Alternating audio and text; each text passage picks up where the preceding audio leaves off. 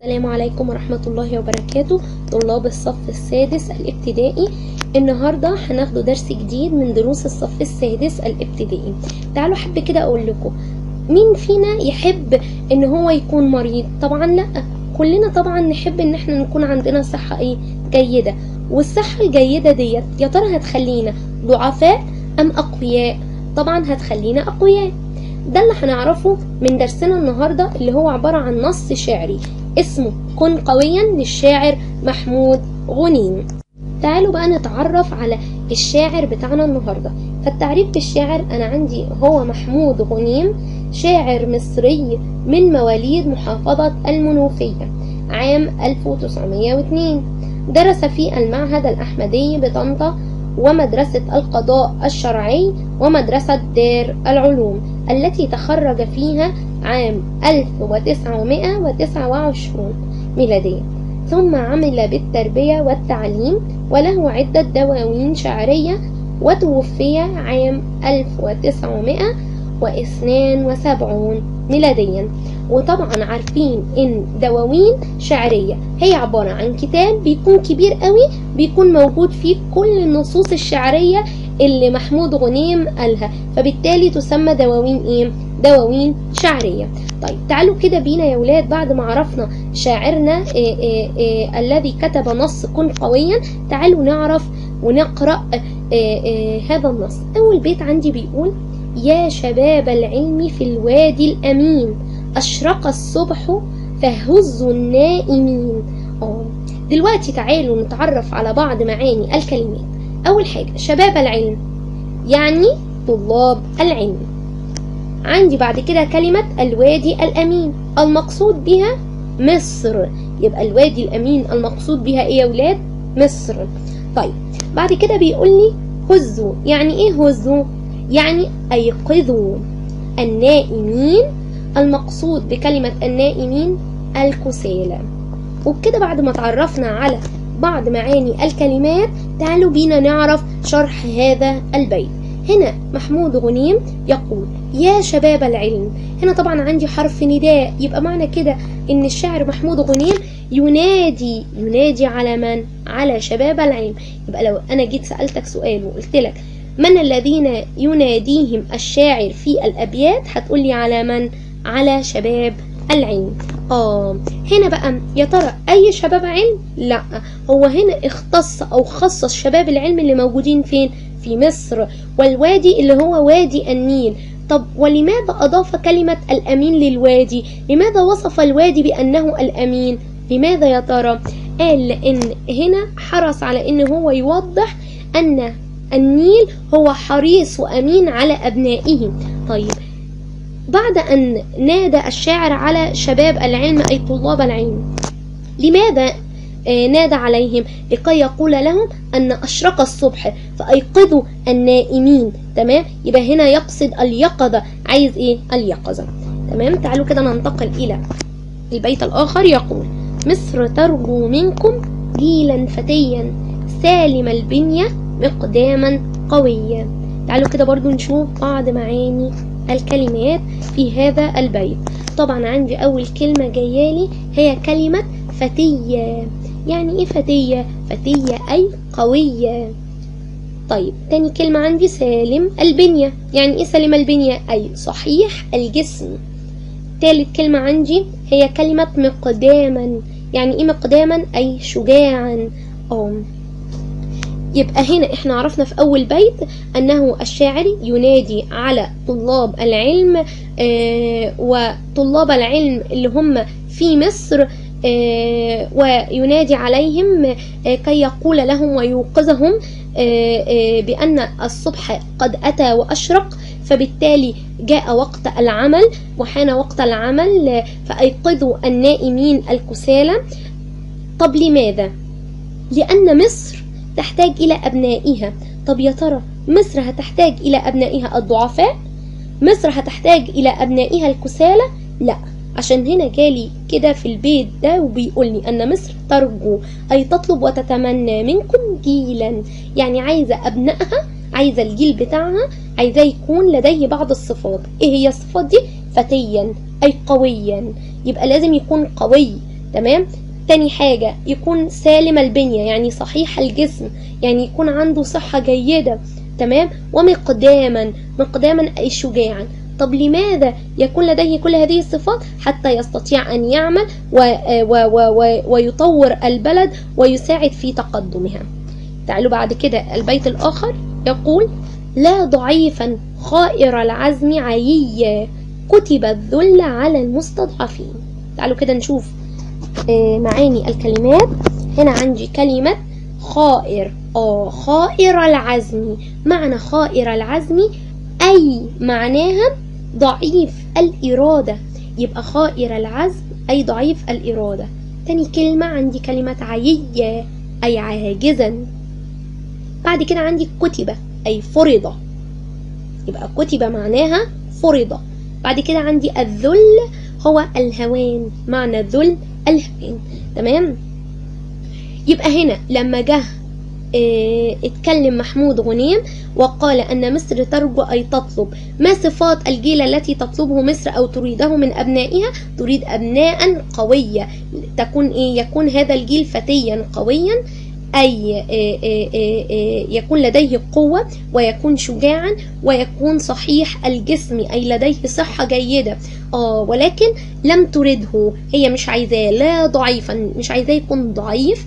مش عايزاه يكون ضعيف الإرادة. لازم يكون عنده إصرار. إصرار لإيه؟ إصرار على العمل. إصرار على النجاح. إصرار على التقدم. تمام؟ طب لماذا؟ لماذا تريده لماذا تريده قويا ولم ولم ترده ضعيف الإرادة ولم يكن عاجزا عييا أي عاجزا مش عايزاه يكون ضعيف الإرادة أو عاجزا لأن فرض الذل على المستضعفين لأن هو لو مش هيكون قوي وهيكون ضعيف وهيكون عاجز لم يستطع إيه؟ لم يستطع التقدم. آه وبالتالي سيكتب ويفرض عليه الهوان.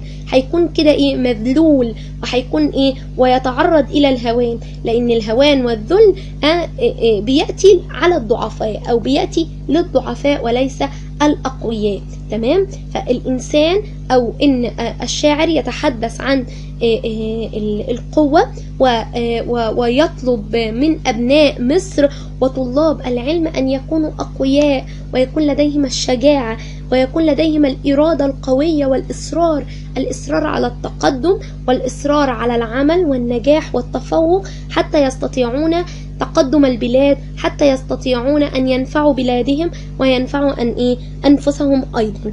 تمام؟ وبالتالي نكون أنهينا هذه الفكرة وننتقل إلى فكرة أخرى مع بيت جديد. تمام؟ تعالوا كده نشوف معانا البيت الجديد بيقول لي إيه. إنما الصحة عنوان الحياة. فانشروها نضرة فوق الجباه. تعالوا بينا الأول نعرف معاني كلمات هذا البيت. هنا عندي أول كلمة عندي عنوان الحياة. تمام؟ تعالوا كده نعرف. ما معنى عنوان الحياة؟ عنوان الحياة أي أساس الحياة. تمام؟ جميل قوي طيب عندي بعد كده كلمة نضرة. نضرة يعني جمال. آه وهنا عندي الكلمة فيها تنوين بالفتح. يبقى نضرة معناها جمالا. الكلمة الثالثة فوق الجباه أي على الوجوه. فوق الجباه أي على الوجوه. تمام. طيب تعالوا بينا هنا نعرف الشاعر عايز يقول لنا إيه. مش هو طلب من أبناء العلم وشباب العلم وطلاب العلم من أبناء مصر إن هم يكونوا إيه؟ لديهم القوة والشجاعة. طب يا ترى ينفع البني آدم يكون عنده قوة وهو مريض؟ ولا لازم يكون لديه صحة؟ لازم يكون لديه صحة. آه تمام. علشان كده يؤكد الشاعر محمود غنيم بكلمة إنما. آه طب بيأكد على إيه؟ على الصحة. طب بيأكد عليها إنها إيه؟ قال لي إن الصحة هي عنوان الحياة أساس الحياة. علشان تحس نفسك إن أنت عايش تمام؟ ولديك عمل تستطيع أن تعمل تستطيع أن تجتهد تستطيع أن تتفوق وتنجح. ده هيكون بالإيه؟ بالصحة بالصحة الجيدة والسليمة. لذلك يطلب الشاعر محمود غنيم فيقول فانشروها آه طب عايز ننشر ماذا؟ ننشر الصحة لأن الصحة تعطينا أثر. طب ما أثر الصحة؟ يقول الشاعر محمود غنيم أن أثر الصحة هنا الجمال فوق الجباه أي على الوجوه.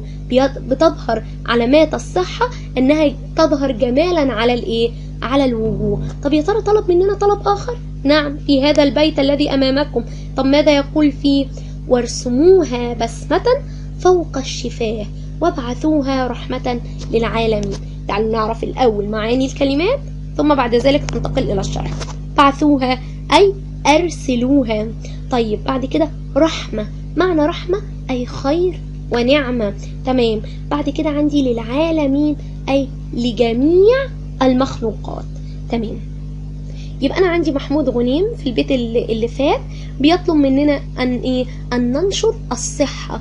آه وننشر الوعي الصحي. لماذا؟ لأن الصحة تظهر أثرها تظهر أثرها على الوجوه. كيف؟ بأنها تظهر جمالا على الوجوه. تمام؟ طيب تاني حاجة أراد أن يطلب منا الشاعر محمود غنيم أن نرسم الصحة. آه قال لي وارسموها نرسم ماذا؟ نرسم الصحة. طب هنرسمها إزاي؟ آه نجعلها أي بسمة تمام؟ فوق الشفاه. لأن الصحة عندما تأتي أو عندما نكون لدينا صحة أو الإنسان عندما تكون لديه الصحة فبالتالي هتظهر أثر هذه الصحة على الإيه؟ على الوجوه بالجمال. وتظهر أيضا على الشفاه بالبسمة. طبعا نلاحظ أن الإنسان الذي لديه صحة يستطيع أن يضحك ويبتسم ويفرح. أما الإنسان المريض يفتقد يفتقد إلى هذه الضحكات والبسمات والإيه؟ والفرحة. فبالتالي الصحة تظهر أثرها في البسمة التي تكون فوق الإيه؟ فوق الشفاه ويطلب أيضا الشاعر محمود غنيم أن نبعث هذه ال- الصحة ونبعث الوعي الصحي أي نرسله وننشر الوعي الصحي حتى تكون الصحة رحمة خير ونعمة. طبعا إحنا عارفين إن الصحة هي نعمة من نعم الله سبحانه وتعالى فبالتالي يطلب الشاعر أن نرسلها خير ونعمة لجميع الإيه المخلوقات وليس لأبناء مصر إيه؟ فقط. وبكده نكون أنهينا الأبيات عندنا وننتقل إلى شيء آخر آه، آه، في هذا النص. وهي مواطن الجمال. طبعا عارفين يا حبايبي إن مواطن الجمال عندي بتنقسم لأكثر من قسم. أنا لو لقيت جملتي آه، فيها نوع من أنواع الأساليب مثل أسلوب النداء أسلوب الأمر أسلوب النهي أسلوب النفي تمام؟ فبالتالي بتكون مواطن الجمال أساليب. لو لقيت فيها تصوير ها صور أو شبه شيء بشيء يبقى ده تشبيه. لو ما لقيناش لا تصوير أو آه، أسلوب يبقى ده تعبير جميل. أول حاجة عندي بيقول لي يا شباب العلم لاحظت هنا عندي حرف النداء يا. طب وأنا قلت حرف نداء يبقى ده على طول نوع من أنواع الأساليب. تمام. يبقى أنا عندي هنا في الجملة بتاعتي فيها موطن من مواطن الجمال وهو أسلوب نداء. ولكل أسلوب غرض. تمام؟ يعني إيه غرض؟ يعني لماذا هو أتى بهذا الأسلوب؟ آه لما أسأل نفسي لماذا أتى بهذا الأسلوب هيطلع لي الايه الغرض. آه، أتى بهذا الأسلوب وهو أسلوب النداء كي يفيد شدة حب الشاعر بشباب العلم يبقى هنا جاء الشاعر بأسلوب النداء يفيد على شدة حب الشاعر لشباب العلم ويحثهم على طلب العلم رقم اثنين بيقول لي إيه؟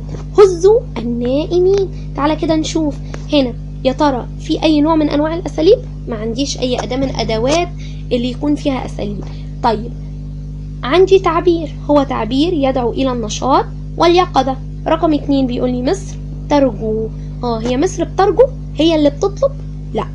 مصر لا تطلب. أما مين اللي بيطلب؟ الإنسان. فهنا شبه مصر بإنسان يتمنى ويطلب.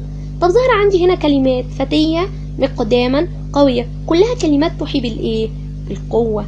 والشجاعة والعزم وعدم الخوف. وظهر عندي ده طبعا من معاني الكلمات. طب تعالوا كده آخر حاجة عندي بيقول لي ابعثوها رحمة للعالمين.